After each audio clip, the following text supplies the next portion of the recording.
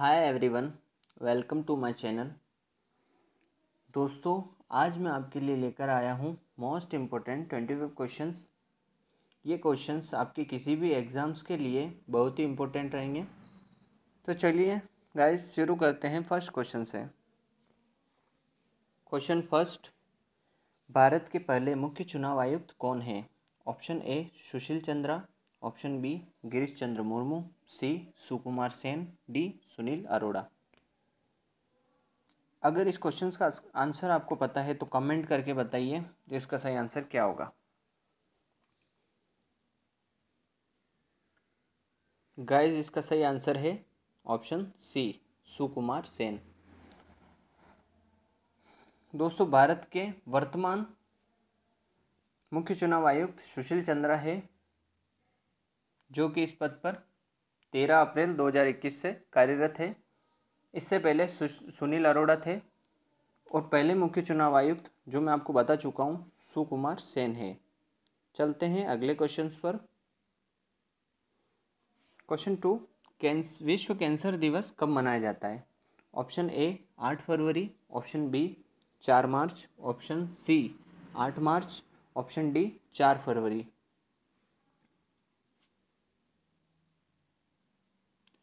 तो इसका सही आंसर है ऑप्शन डी, चार फरवरी। चलते हैं नेक्स्ट क्वेश्चन पर। विश्व वन्य जीव दिवस कब मनाया जाता है? ऑप्शन ए, एक मार्च। ऑप्शन बी, बारह मार्च। ऑप्शन सी, तीन मार्च। ऑप्शन डी, चौबीस फरवरी।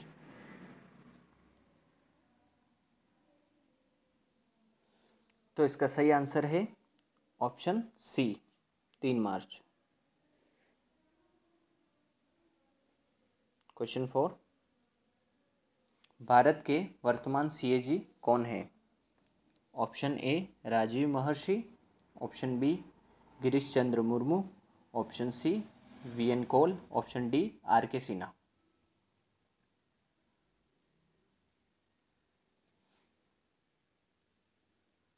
तो इसका सही आंसर है गिरीश चंद्र मुर्मू। फ्रेंड्स गिरीश चंद्र मुर्मू भारत के चौदहवें सी जी हैं। इससे पहले थे राजीव महर्षि। दोस्तों सी जी का पूरा नाम नियंत्रक, महालेखा परीक्षक है। चलते हैं अगले क्वेश्चंस पर। बंग बंधु के नाम से किसे जाना जाता है? Option A Subhash Chandra Bose. Option B Tegh Bahadur. Option C Liaquat Ali, option D Mujib ur Rahman.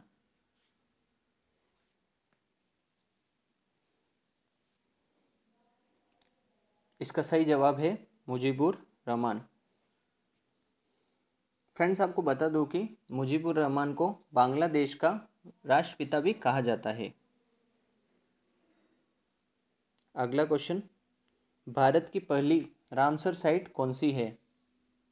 Option A त्योकर झील, ऑप्शन बी सांबर झील, ऑप्शन सी चिल्का झील, ऑप्शन डी ले झील।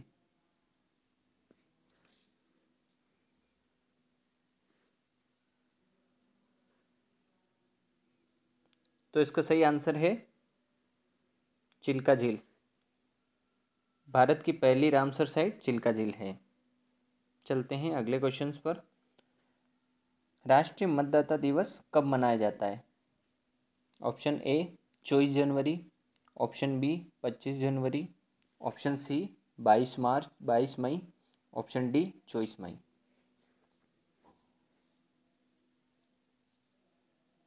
तो इसका सही जवाब है ऑप्शन बी पच्चीस जनवरी। चलते हैं नेक्स्ट क्वेश्चन पर।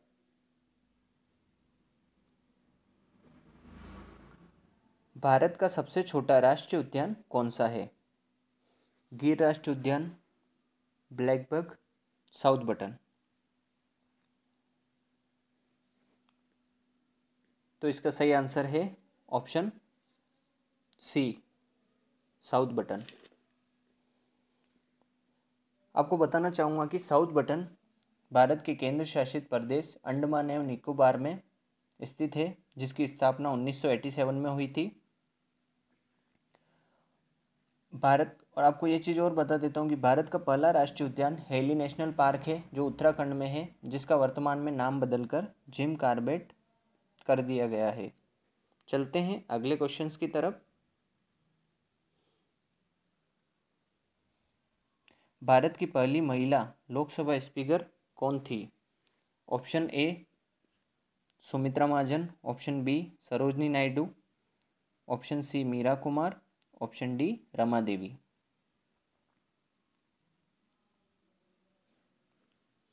तो इसका सही जवाब है मीरा कुमार। भारत की पहली महिला लोकसभा स्पीकर मीरा कुमार थी और वर्तमान में भारत के लोकसभा स्पीकर हैं ओम बिरला। चलते हैं अगले क्वेश्चंस की तरफ़। भारतीय नेपोलियन की उपाधि किसे दी गई है? Option A Chandragupta Maurya, option B Samudragupta, option C Harshavardhana, option D Ashoka. तो इसका सही आंसर है ऑप्शन बी समुद्रगुप्त। समुद्रगुप्त का भारतीय नेपोलियन की उपाधि दी गई है। और आपको बता दूँ कि समुद्रगुप्त को इतिहास में सौ युद्धों का विजेता भी कहा जाता है। चलते हैं अगले क्वेश्चंस की तरफ़। निम्न में से किस अनुच्छेद का संबंध पंचायती राज से है? ऑप्शन ए, अनुच्छेद दो सौ ऑप्शन बी, अनुच्छेद तीन सौ चौबीस। सी, अनुच्छेद एक सौ चौबीस। ऑप्शन डी, अनुच्छेद तिहत्तर।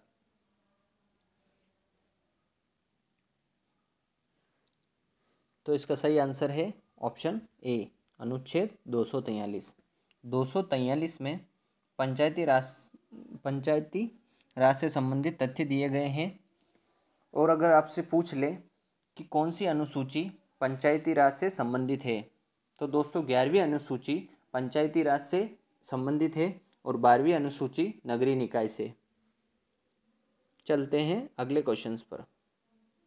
राजस्थान की किस झील को रामसर आर्द्रभूमि की सूची में शामिल किया गया है? ऑप्शन ए, पिछोला झील, ऑप्शन बी आना सागर ऑप्शन सी सांबर झील ऑप्शन डी डल झील।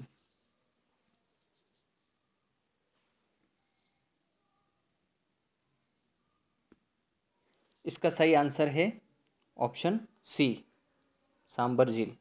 सांबर झील को राजस्थान की रामसर साइट की सूची में शामिल किया गया है।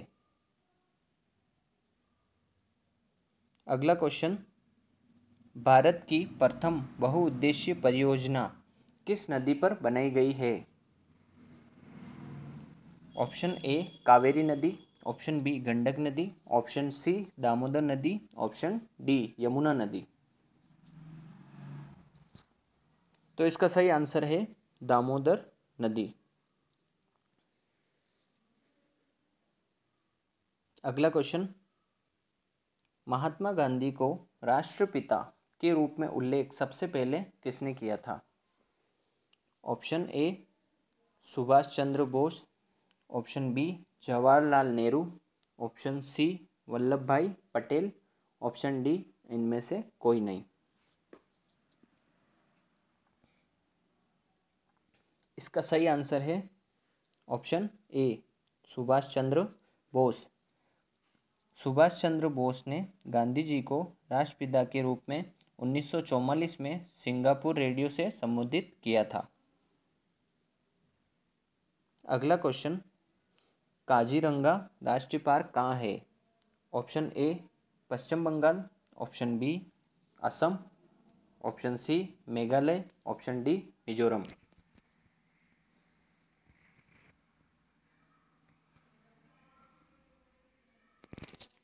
तो इसका सही आंसर है ऑप्शन बी, असम। काजीरंगा राष्ट्रीय उद्यान असम में स्थित है, जो कि एक सिंह के गेंडे के लिए प्रसिद्ध है।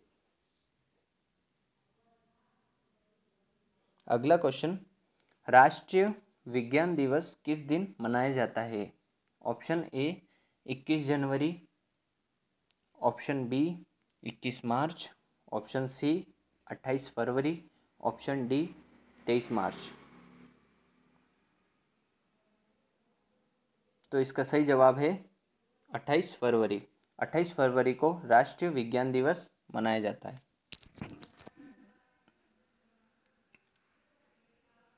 अगला क्वेश्चन। राजस्थान के किस तीरंदाज को अर्जुन पुरस्कार मिला है? Option A, Shyamlal Meena. Option B Limbaram option C, ये दोनों। ऑप्शन डी, इनमें से कोई नहीं।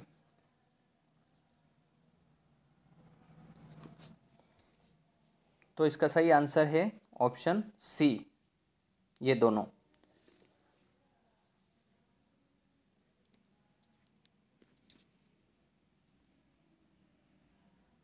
राजस्थान में तीरंदाजी में अर्जुन पुरस्कार श्यामलाल मीणा और लिम्बाराम को मिला है। आपको बता दूँ कि अर्जुन पुरस्कार की शुरुआत 1961 में की गई थी। चलते हैं अगले क्वेश्चन की तरफ़। भारत का सबसे लंबा राष्ट्रीय राजमार्ग कौन सा है? ऑप्शन ए, एन एच चौवालीस, ऑप्शन बी, एन एच एक, ऑप्शन सी, एन एच दो, ऑप्शन डी, एन एच दस।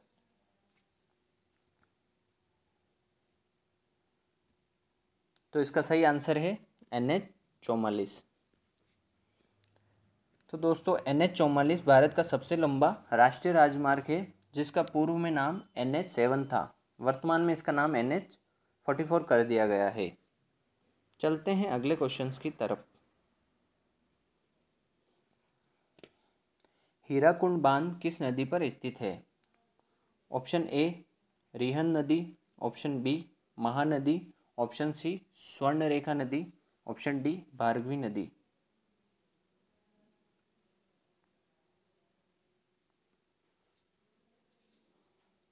तो दोस्तों, आपको बता दें कि हीराकुंड बाँध भारत की महानदी पर स्थित है, जो कि भारत का सबसे लंबा बाँध है। हीराकुंड बाँध भारत के उड़ीसा में स्थित है। अगला क्वेश्चन। परमाणु रिएक्टर में प्रयुक्त ईंधन है। ऑप्शन ए, कोयला, option B, petrol, option C जलने वाली गैसें, ऑप्शन डी, यूरेनियम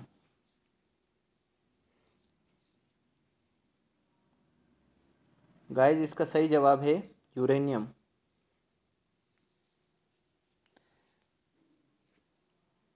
चलते हैं अगले क्वेश्चंस की तरफ़ दोस्तों, अगर आपको यह क्लास अच्छी लगी हो तो. अच्छी लगी हो तो कमेंट और लाइक करना ना भूलें और चैनल को ज़रूर सब्सक्राइब करें। चलते हैं अगले क्वेश्चंस की तरफ़। क्वेश्चन नंबर ट्वेंटी वन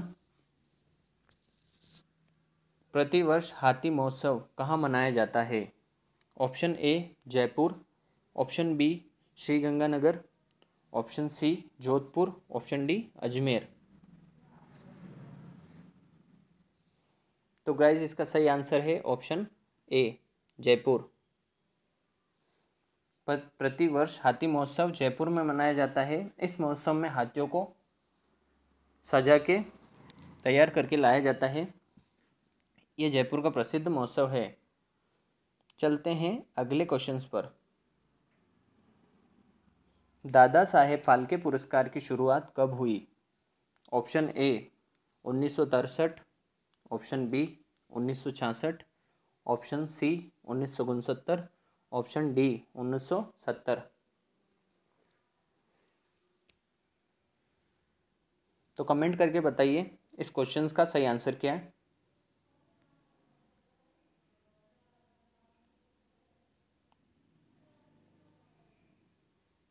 इसका सही आंसर है उन्नीस सौ उनसत्तर। उन्नीस में दादा साहेब फाल्के पुरस्कार की शुरुआत हुई थी। अगला क्वेश्चन तेरह ताली नृत्य किस प्रदेश का नृत्य है?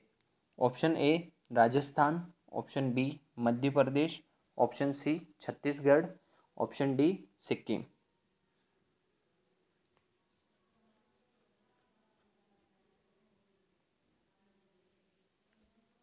तो इसका सही आंसर है राजस्थान। दोस्तों, आपको बता दूँ कि तेरह ताली नृत्य राजस्थान राज्य में किया जाता है। जो कि रामदेव जी के मेले का प्रसिद्ध नृत्य है और यह नृत्य कामड़िया जाति के लोगों द्वारा किया जाता है। कामड़िया पंथ की स्थापना रामदेव जी के द्वारा की गई थी। चलते हैं अगले क्वेश्चन की तरफ़। ब्लैक पेगोडा किस प्रदेश में है? Option A, Orissa. Option B, Andhra Pradesh. Option C, Kerala. Option D Tamil Nadu.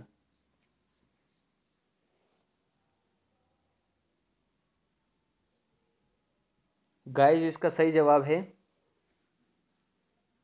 Option A Orissa. आपको बता दूँ कि ब्लैक ब्लैक पेगोडा कोणार्क के सूर्य मंदिर को कहा जाता है, जो कि उड़ीसा राज्य में स्थित है। दोस्तों, आज का आखिरी क्वेश्चन अगर आपको ये क्लास अच्छी लगी लगी हो तो कमेंट करके बताइए, ताकि ताकि आगे भी हम आपके लिए और अच्छे अच्छे क्वेश्चंस की क्लासें ला सकें। आज का last question question number twenty five Rajasthan का किशनगढ़ स्कूल किसके लिए प्रसिद्ध है? ऑप्शन ए चित्रकला। ऑप्शन बी नृत्य। ऑप्शन सी मूर्तिकला।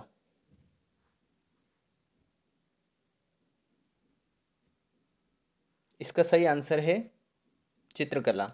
राजस्थान का किशनगढ़ स्कूल चित्रकला के लिए प्रसिद्ध है और राजस्थान की किशन, किशनगढ़ शैली बहुत ही प्रसिद्ध शैली है। धन्यवाद दोस्तों।